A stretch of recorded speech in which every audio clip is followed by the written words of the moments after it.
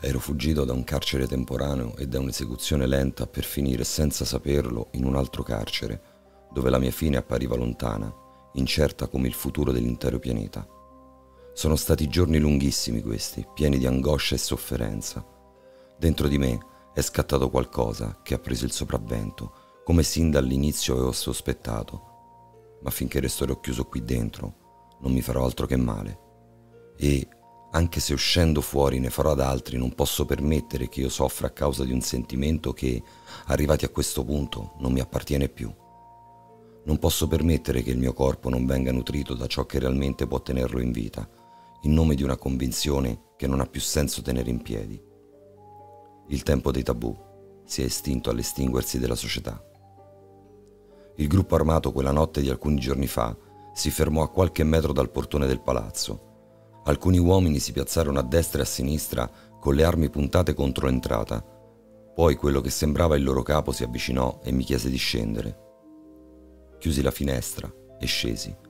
Avevo sistemato il portone come meglio m'era possibile, bloccandolo all'interno con delle assi ricavate qua e là nel palazzo. Tolsi quei sigilli con fatica. Non mangiavo da diversi giorni e la debolezza si faceva sentire. Quando uscii all'aperto, fu investito da un profumo che mi diede forza e speranza. Il vento serale spirava verso di me, portando alle mie narici una fragranza che mai prima di allora avevo sentito. Era forte, intensa, stuzzicava il mio appetito. A stento riuscì a dominarmi. Era l'odore del cibo e veniva dagli uomini che mi stavano davanti. Era il loro odore che sentivo e mi attirava verso un baratro da cui non avrei più potuto uscire, né voluto. Appena mi vide, l'uomo arretrò e mi ordinò di non avvicinarmi. Notai lo stesso comportamento negli altri. Mi guardavano con un misto di odio e di terrore. Avevo paura e si vedeva, ma le loro armi gli davano coraggio. Tu sei infetto? Non era una domanda. Ho fame, dissi con un filo di voce. Avete qualcosa da mangiare? Gli altri si scambiarono uno sguardo. Non quello che ti aspetteresti, mi rispose il loro capo, ma possiamo portarti qualcosa. Feci finta di non aver capito e ringraziai. Non dovrai uscire dal palazzo, mi ordinò l'uomo. Non vogliamo problemi qui. Finora non ce ne sono stati Qualche banda si è affacciata da queste parti, ma hanno capito tutti che era meglio non tornare più. Sistemeremo delle sentinelle proprio qui davanti, con l'ordine di sparare a vista. Sei stato avvertito. E quando mi lascerete andare via? Chiesi, anche se immaginavo già la risposta. Potrò andarmene fra qualche giorno? No, mi dispiace, non possiamo permettertelo. Dovrei starmene rinchiuso qui dentro finché campo. Che autorità avete voi per rinchiudermi qua dentro? domandai brusco facendo l'atto di avvicinarmi. Subito partì da due sentinelle una raffica di mitra che sollevò pezzi di asfalto vicino ai miei piedi. Mi fermai. Per quanto mi riguarda, puoi andare all'inferno tu e quelli come te. Non mi interessa come passerai il resto della tua vita. Mi importa solo di sapere che resterei chiuso in questo palazzo, in modo da essere controllato e non fare danni. Abbiamo saputo che cosa è successo e che cosa sta succedendo in altre parti d'Italia e non vogliamo che qui si ripeta lo stesso. Ho la responsabilità di questa piccola comunità e intendo farla sopravvivere a questa apocalisse. E se questo significa ammazzare un mio simile, anche se la similitudine sta andando a quel paese, allora ben venga. Intesi? Non mi date molta scelta, dissi con tono rassegnato. È il meglio che possiamo fare per te, credimi. Ecco a cosa si era ridotta l'umanità a gruppi di gente isolata che si crea un proprio spazio di sopravvivenza e si tiene lontana dai problemi e dalle afflizioni che turbano il prossimo. Ma dopo quanto stava accadendo, potevo io dar loro torto a quella gente? Adesso torna su, fra poco ti porteremo qualcosa, aggiunse l'uomo.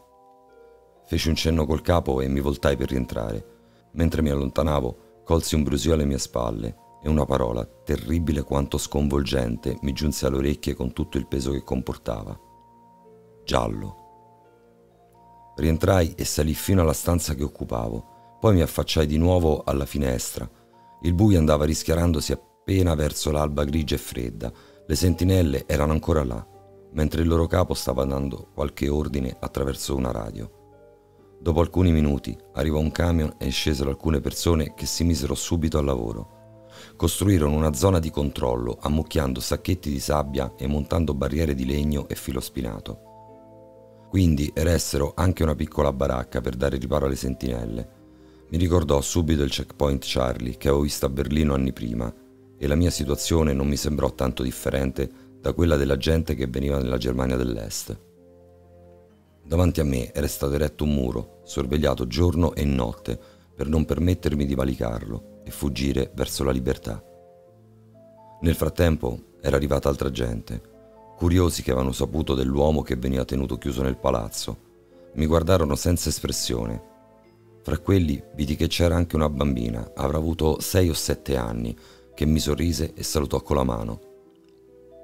Per fortuna erano stati abbastanza intelligenti da tenere le anime innocenti lontane dagli orrori di quel mondo in distruzione. Risposi al saluto e decisi che mi sarei ricordato di lei, dell'unica anima pura in mezzo a quell'umanità senza più traccia di umanità quando fossi riuscito a fuggire. Della sorte degli altri non me ne sarei curato. Nei giorni seguenti arrivò sempre qualcuno a portarmi del cibo, per lo più si trattava di verdure e pane senza sapore, anche se talvolta c'era un po' di carne. Quel cibo mi disgustava, ma contribuì a non farmi morire di fame. Divenni molto più aggressivo, sfogandomi con tutto ciò che mi capitava davanti. Diverse volte mi svegliai in qualche stanza del palazzo, in terra, le mani sanguinanti e piene di ferite. Ho dei grossi vuoti di memoria su quanto accadde in quei momenti. Mi ricordo che un giorno si era formata una piccola folla nei pressi del posto di controllo. Era mattina inoltrata e l'uomo che mi portava da mangiare era già arrivato, anche se se ne stava fermo davanti alle sentinelle a osservare il portone del palazzo. Anche in quell'occasione mi risvegliai sul pavimento. Il tavolo che usavo per scrivere al portatile era a pezzi e il mio computer in terra, fortunatamente senza danni. Non ricordo che ora fosse, ma dalla finestra che scoprì col vetro fracassato mi giunsero le voci della gente. Quando mi affacciai si zittirono.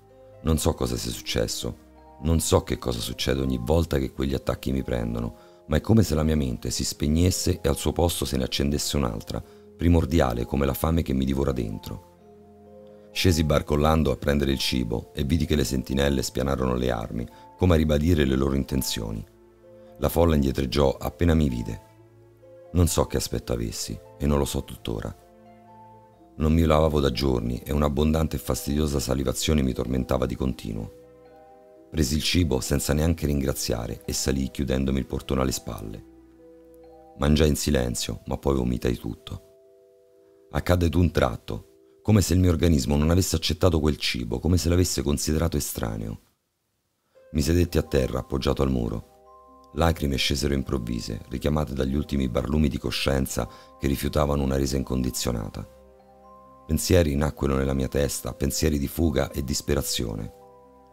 Ricordi, seppur lontani e opachi, affiorarono la mia memoria che andava spegnendosi lentamente, portando alla luce schegge di un passato remoto e sempre più irraggiungibile.